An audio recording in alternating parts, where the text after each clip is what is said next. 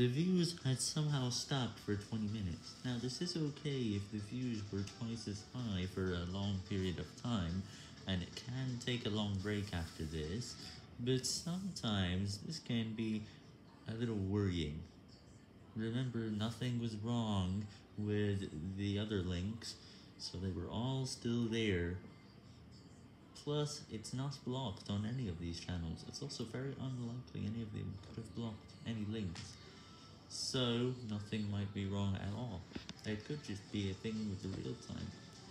So, our channel gets about 50 views per hour with that video active at 20 views per hour, which was about 3 or 4 times more than it used to be.